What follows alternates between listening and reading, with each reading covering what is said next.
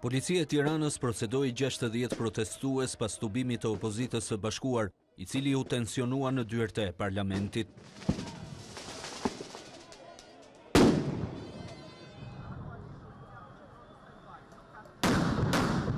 Dyzet e dy prej protestuesve u arrestuan, ndërsa tetëmbëdhjetë të tjerë po ndiqen në gjendje të lirë, pasi sipas policisë akuzohen për akte dhune dhe goditje ndaj uniformave blu.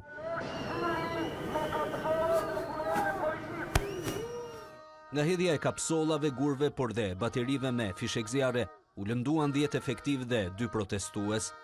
Ministri i Brendshëm Sandër Lleshaj dhe drejtori i përgjithshëm i policisë vizituan në spitalin e traumës efektivët e lënduar,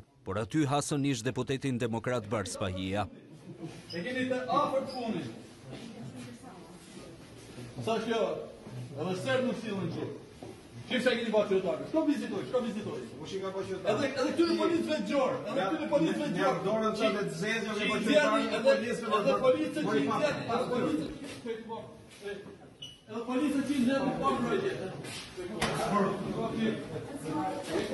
Në total gjatë 7 protestave kombëtare të opozitës mbi 200 persona janë shoqëruar në polici, ndërsa pjesa dërmuese e tyre janë liruar nga gjykatat.